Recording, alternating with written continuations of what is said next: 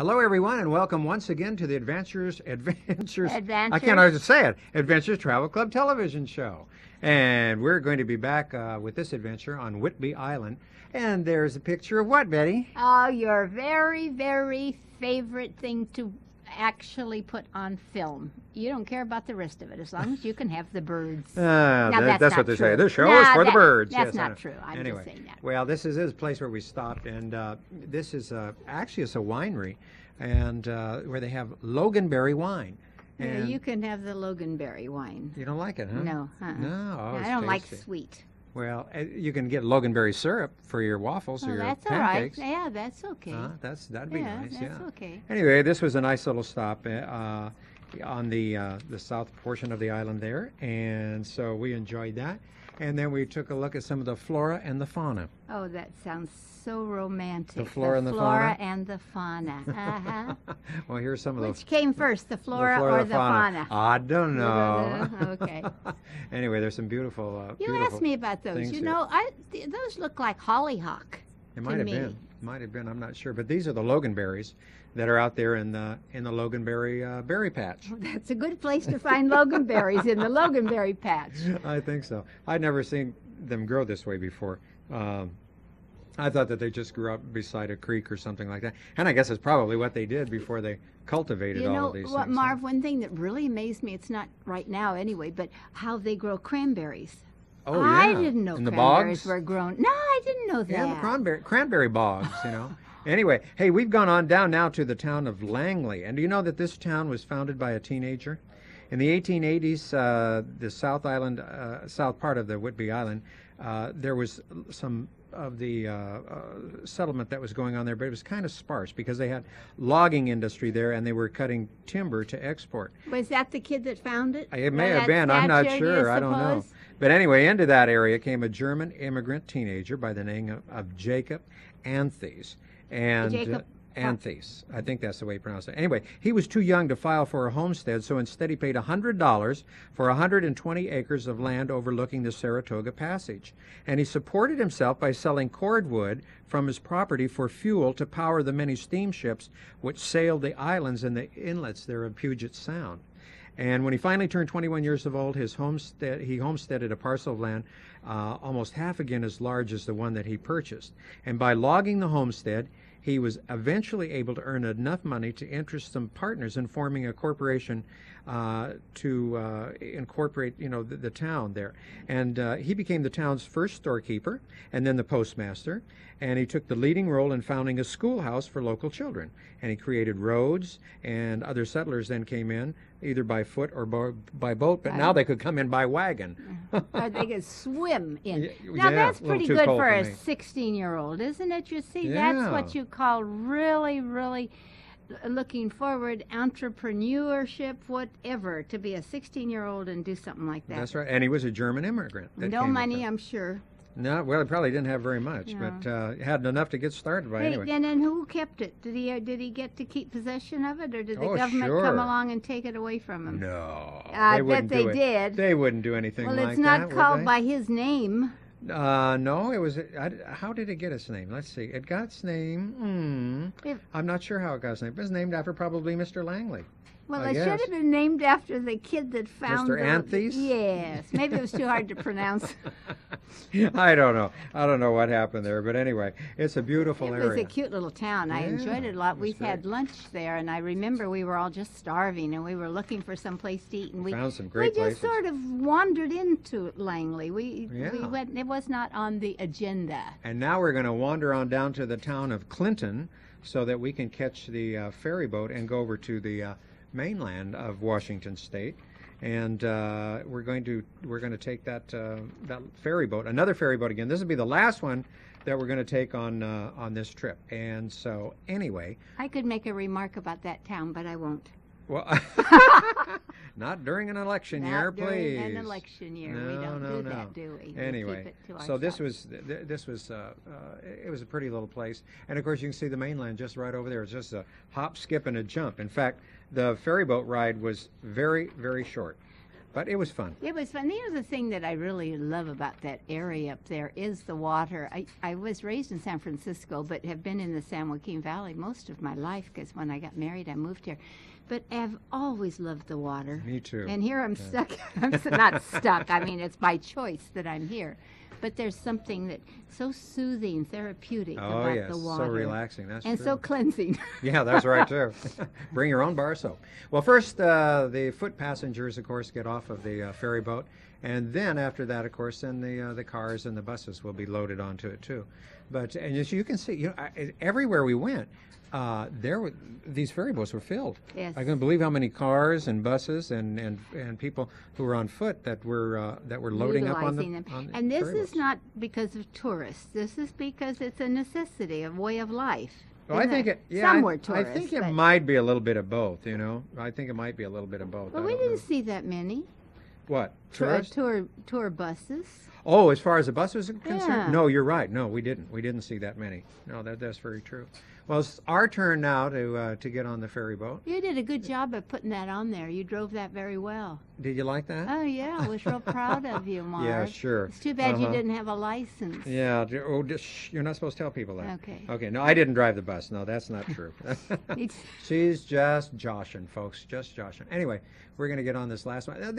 These are. Uh, I, I've been on bigger ferry boats. You know, the the, uh, the American ferry boats this last year, in 1995, I think it was. They put some brand new ones on, and they were they were bigger ones. But a few years ago, I had been up there, uh, and we're on some of the Canadian ferry boats, and. Uh, they were they were quite a bit bigger and they were newer at the time.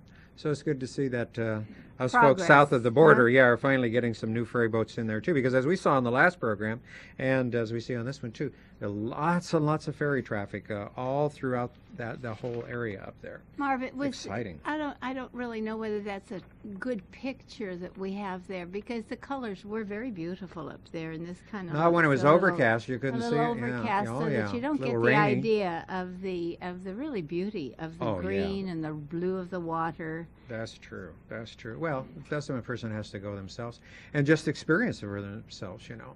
So anyway, the folks uh, taking a little stretch here just before we uh, bump there onto the shore. And we do no, it don't bump very much though. No, no, no. It's a, you know that that's. I wonder what would happen though in the rough water. You know, if you if you did have a storm, something like that. Because I imagine the ferry boats still go with the water Well, kind they have to go. huh? Well, you just bump a little more. I guess so. And there's another one just coming from where we're going to go. And there's Ben get getting a little bit of fresh air out And there. Take a deep breath, Ben. Yeah. You can see he's looking to see whether there are going to be any rain clouds up there or whether any of those seagulls are coming a little too close. I think that would be a problem. but no, he's uh, he's well prepared. He has a, our jacket on and his hat, and so So he's seagull proof, huh? He is seagull proof. Yeah. yeah. well, I hope so. Anyway, we can see that uh, the uh, this settlement here too. You see, so many people have uh, clustered around the uh, around the water area there, where the, where the building is. It's just really quite beautiful. no, I from what I hear, people in Seattle don't want anybody to come there and live. They stay away from us. Don't you know? They're very happy with what they have, and they don't want us to intrude uh, by building. I mean, well, our- I think our- that was the same huh. way too with a lot of people there in in uh, in Oregon.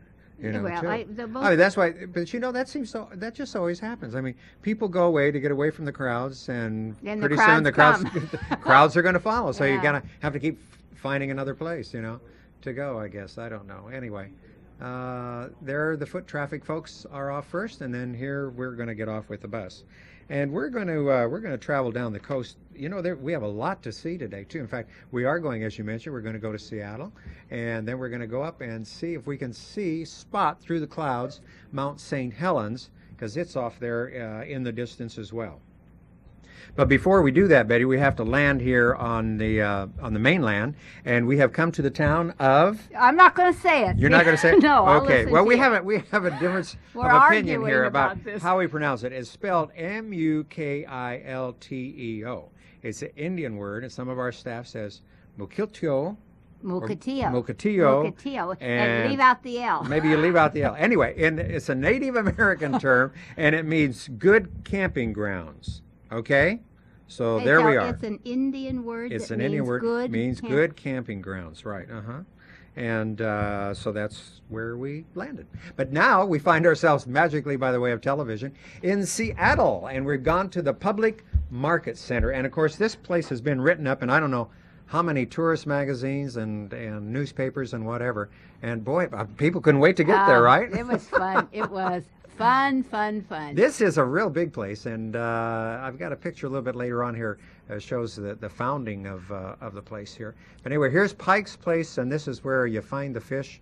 And you know, I thought that I had, I thought that I had a picture of uh, these guys throwing the And you don't. throwing the fish. No, I thought I did. Now wait, maybe that guy there. He just threw in. Okay. But you I can't hardly see. But the- Well, he's way back There- there's so many fish in the way. yeah, but what happens really, you buy a fish and they weigh it.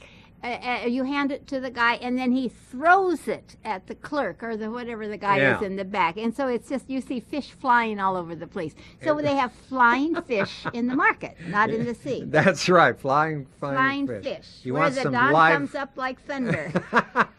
live crayfish. You know, right? This guy looks like he, the one up there looks like he's going to crawl out and get away. Those don't look gray to me. They look kind of red. Oh, they do look red, don't they? Yeah. That's a joke. Okay. Gray, you know, cray, gray, Is, it- is that a fish joke Not it's or a not fish? very- not a fish story, but a fish it's joke, fish right? Joke, yeah. Okay, Not anyway. very good though. It really smelled. this uh, this place is really huge. I couldn't believe it. I mean, I it goes tell blocks and blocks and Should blocks. I tell the story here about Marge? Marge was such a nice lady, and she, Marge Frigalti from Goshen, and she goes with me a lot. And she took out her purse to buy something, and while there was a lady next to her and said to her, "Would you mind handing me that little statue so I can see it?" And Marge says, "Well, of course." So she hands her the statue to look at, and as she did this, the lady went into her purse and took out her wallet. Oh, that's so right. this yeah. is the place yeah. you do look out for pickpockets. Yeah, you you- well, you know, almost any place where tourists go. I don't care if you're in the United States, outside the United States, wherever. Oh, this is the this is where you meet people at the pig. That was the pig right there. Okay. I'm sorry. Anyway, yeah, no, that, that uh, people say in Seattle say, well, we'll meet you at the pig, you know, and that was where the pig was. Anyway, uh, yeah, you're right. In fact, there were a couple of incidences there that happened while we were there of, of pickpockets and Not with us, just the one. and and they really know how to they really know how to work it. They're professional. Oh well, of course, yeah. It just uh, like the people that uh, go in and uh, and do the shoplifting too. However, eh, well, I, they probably wouldn't shoplift a fish there. I don't know. I'd be hard And to it- carry. I think you'd get caught walking out the store. With- They'd smell the you. fish. And here's the founding of the of the Pikes Market. There you can see, uh, and this was founded really to kind of cut out the middlemen because the prices were going back in those days were going so high. But uh, besides the fish, there's all sorts of things. There's vegetables. There are flowers. There are knickknacks. There Yeah, are there really uh, are. audio tapes. I mean, you name it, and you can find it here. It's the place is well, really it large. stretches way, way down. Oh, and for way, blocks way and blocks, and yeah. way, way wide, whatever. But you know, it has a it has a nice place here because we, this little place where we stopped to have some tea and looking right out the windows. Now we're in the market there, but looking right out the windows, you can see part of that uh, part of the harbor area there in Seattle. Just really, really magnificent. There were some nice stores right across from it too. There were Mhm. some antique stores and a wonderful kitchen uh, uh, store.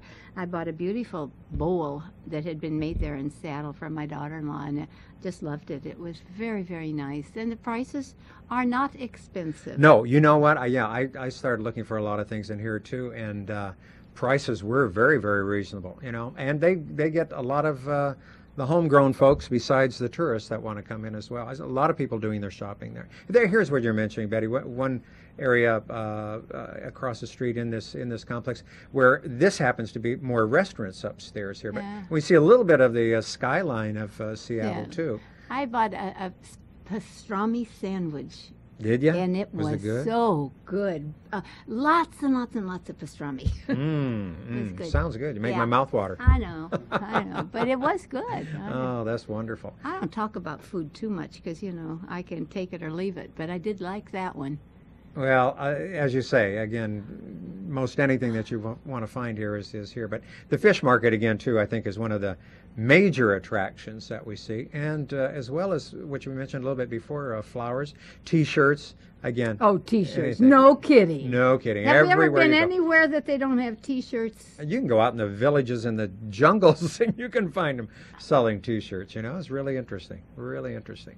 Anyway, a lot of flowers here too. That was a nice place to visit, and we spent uh, enough time here so that folks could get a get a little bite to eat if they wanted, or like you did, you know, buy browse. some things. Yeah. But you know, this is the nice thing about traveling on a bus.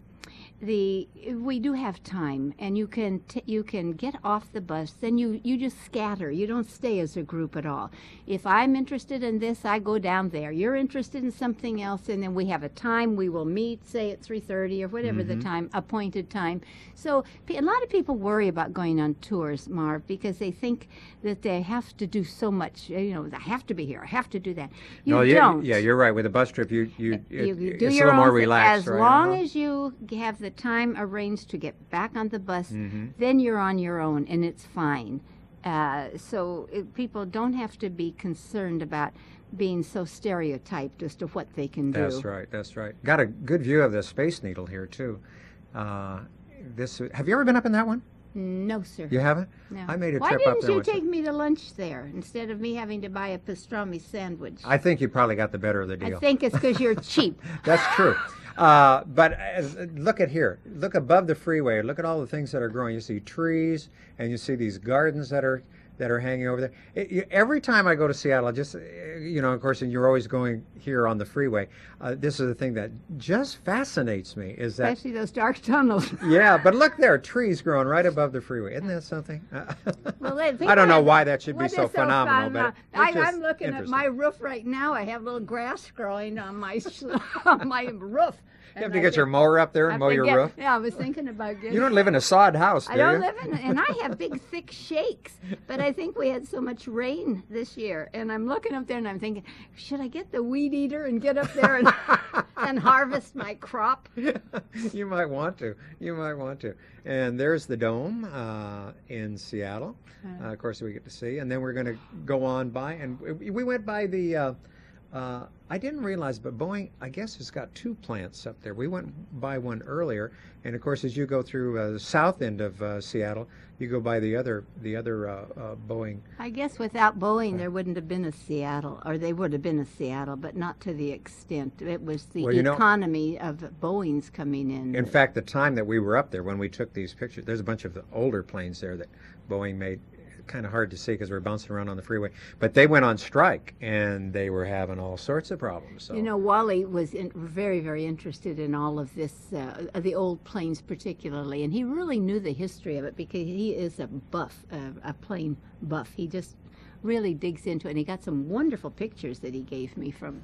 we know, Betty, this highway goes right through uh, Fort Lewis. It's on either side, and uh, Wallace was uh, he was stationed there. In fact, in just a moment, he's going to give us a, a little uh, uh, tour, uh, verbal tour, as we go as we go past on the freeway. Job, but it was Oh, hard yeah. to hear on a bus, you know. Well, he it was hard for us to pick it up with a microphone Yeah. here, but uh, I think most very, people heard very it. Very knowledgeable. Yeah, he gave us, uh, being that he was stationed uh, up there for, for quite some time, he was very familiar, of course, with this area. They're going back there to live. Oh, really? Yes, I didn't know that. Yep, Is they that are. right? Uh-huh. Well, I'll tell you, I, that's that's uh, an enviable position to be in because this is a. They have Beautiful a lot, they area. have land. They bought land when he lived there, when he was in the service. I remember he was talking about that there are a lot of little lakes and, and things that are you know scattered all over this area, and that I guess you could have a nice little house on a Oh, on a little lake there. Wouldn't that be Cut lovely? down your own tree to build your house and make a Mm, log That I don't know about. I think that they probably have some restrictions on that. anyway, let's give a listen now as he's going to uh, give us a, a little thumbnail sketch here of this particular area that we're driving through. The building that's coming up on your right, the multi-story building, used to be the Fort Lewis Lodge. That's where the families, when they first checked on a post, stayed until they could get quarters. They built a new lodge on main base, and they were going to tear this one down. Uh, there was such a hue and cry in the community that they decided to leave it up. It's now the Post Museum. Actually, we had more of an explanation, but we just couldn't catch it all on videotape, unfortunately. But he did really give us a, uh, Oh, a real nice Yeah. explanation of this whole area, so it was really quite nice. It was educational for me. You'd never been there before? No. Well, not too many women probably were at Fort Lewis. I don't know. Anyway, it's on down the road, and we're going now to Olympia, which of course is the capital of Washington State. And uh, we're going to try and get a shot of the state capitol building. However, we're on the wrong side of the road. no, no, no. We got we got a little bit of there. It is right there, sort of in the center of the picture, and you can see it. And uh, it's going to be gone just about as fast as it appeared for us. Anyway, I have stopped in this area before, and this is really quite a nice area. However, where I stopped was not at the state capitol before, but on down the road a little bit and across the street where you run into the Olympia Brewery. I was just going to ask you that. Was Uh-huh. that by any chance the brewery? No, the brewery's right over here on the other side of the street, as you see. And they have a nice tour that goes through there. Unfortunately, on this particular trip, we were unable to uh, take advantage of that because we were not there at the at the right time. And uh, they're only open for certain hours for the for the trip and for the tasting of uh, the Olympia uh, brewery up there. But it is nice to go through. And so, if uh, any of you folks are taking a drive up there this summer or any time during the year, I'm sure that uh, by, you'd huh? like to drop by. But also, don't miss the state capitol as well because that's that's worth going through as well as uh, as the brewery. if you're interested in Washington state government, I guess I don't Well, you might combine them. know. Well, that, yeah, Maybe, because the, maybe the building would look better if you after you visited after the brewery. you visited the Well, brewery. Could Mhm. be. I don't know. I don't know. Anyway, uh, we saw a few of the trees that were changing color as we were going, but now we're running into more of a overcast day again, and uh, it's starting to get a little bit drippy. You know, I'm once thinking again. this. I'm thinking when I think about this trip to Canada, how different this is than the one we're going to do to Yellowstone. Yeah, You know, we're going to have a completely different terrain. that's that's true. You Yeah. will have.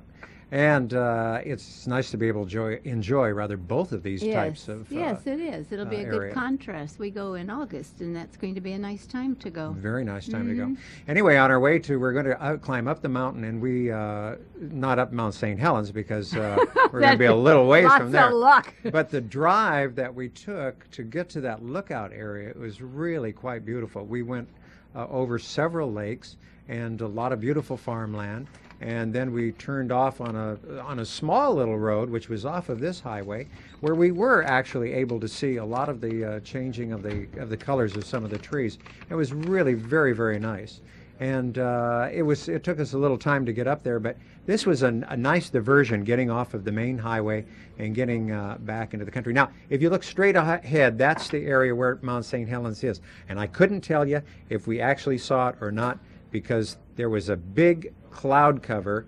Uh, and it kept kept changing. I thought, well, once we get up to the observation you know area uh, maybe it will be clear and maybe it won't uh, you just take your chances on the day that you It's go like you just Mount don't know for McKinley, sure too. You don't know about it. If you get to see it, you're lucky.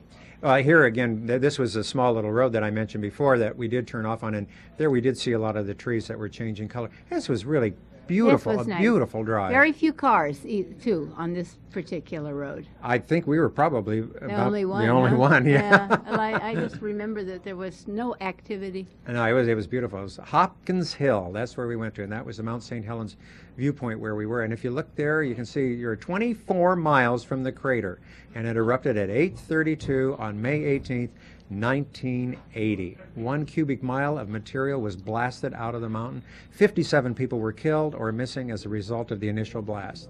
And uh, I, I can I can remember all that. Remember the, I the stuff that- remember hearing about it, of course. I mean, it made it was headline news. It's off in that direction. At least that's what the arrow oh, said. there yeah. it is. Well, Look, I don't know if that's where it is. I'm not going to say that that's it for sure. That's right. You don't. know. don't. I'll say, oh, there it is. I think it's between those cloud layers up there. I Uh, think. Well, I we don't know, it's there it's up there somewhere. somewhere. Yeah. Yeah. It didn't disappear. No, and they didn't have another eruption since we were there. I don't believe so. No, the only interruption is when I try to t- get in when you're talking. That's, That's okay. Okay. Uh, the weather changes, you know. That's what they say. Wait five minutes and it'll change again. And anyway, we're going on now to Tillamook, Oh, and we're yes. going to see some cheese. Mm. my favorite. I love that cheddar cheese, Do and ya? I don't allow myself to eat it too much because of the fat content, but I sure do like it. Well, Betty, if you like it, you're going to find out how the cheese now is really made as we drive up to Tillamook. I'd just like to welcome you to Tillamook Cheese, uh, tell you a little bit about us. Uh, Tillamook uh, County Creamery Association, which is the manufacturer of Tillamook cheese, Uh, we've been in business here since 1909. We are a co-op, which means that uh, we are owned by the dairy farmers in Tillamook County. And to be a member of the co-op, uh, you have to have um, own a dairy farm and that's uh, operating and producing milk to be shipped to the co-op. Um, the membership, when it was originally organized in 1909, was $25. It still is $25 today. Uh, the kicker is you have to own the farm, and those aren't twenty-five dollars. Uh, but but it is it's uh, it's actually started out uh, back in those days. There were lots of small cheese factories throughout the county. Um, each one, each little community had a cheese factory, a store, and a school. And that was sort of the hub of the community. And the association was far formed actually as a marketing co-op for all of those small cheese factories. And as transportation became better and things changed over the years, they started joining together. And in 1968, uh, the last of those small cheese factories were closed, and uh, they did some remodeling here, and everything was done here. This plant actually was originally built in 1949, has been added onto and expanded many, many times since then. We will produce 47 million pounds of cheese this year, which is quite a bit of cheese. Lots of cheese sandwiches, anyway. Uh, we also, in addition to making cheddar cheese, uh, we produce Monterey Jack cheese, which is a white um, cheese that um, is uh, made from pasteurized milk, where our cheddar cheese actually is um, a raw milk product, considered a raw milk product, uh, therefore must be aged a minimum of 60 days before it can be marketed and we actually choose to age ours for 90 days. That um, aging process actually uh, works much the same as a pasteurization process. So, in, if in fact there were any uh, bugs in there that weren't good for you, they would die a natural death, I guess. Uh, anyway, uh, we're actually only one of two. Um, processors in the country that still make raw milk cheese. Um, but we can do that because we have a very, very high quality milk here in this area. Our milk is um, some of the, if not the highest quality milk in the country. Our farmers um, are all grade A licensed and, and even though our primary goal is to make cheese with that milk, we do require them to be grade A licensed. So there, it is very high quality product. In addition to that, uh, one of the byproducts of cheese is whey. Uh, it takes 10 pounds of milk, which is equivalent to actually about five quarts, to produce one pound of cheese. Because actually the cheese is the solid portion of the milk. They coagulate that together, and that's what makes the curd, which becomes the cheese. And you end up with nine pounds of liquid left over, which is mostly water. But there is uh, a, about a third of a pound of of solids in this nine pounds. And so we have a drying plant. Uh, actually, it's that large building way up in the back that you see with the plume coming out of it right now. Well, Betty, did you find out uh, a little bit more about how they do cheese at Tillamook? I did find out how they do cheese at Tillamook, and I, I tell you, it's it's just a really fascinating thing. It is and, a fascinating. But I, and imagine that many quarts of milk was that to make one pound of cheese Yeah. was it i forget what it said A bunch, anyway. bunch Hey, it's about time for us to go. If you're interested in our upcoming trips, give Betty a call. We will see you later. Bye bye for now. bye bye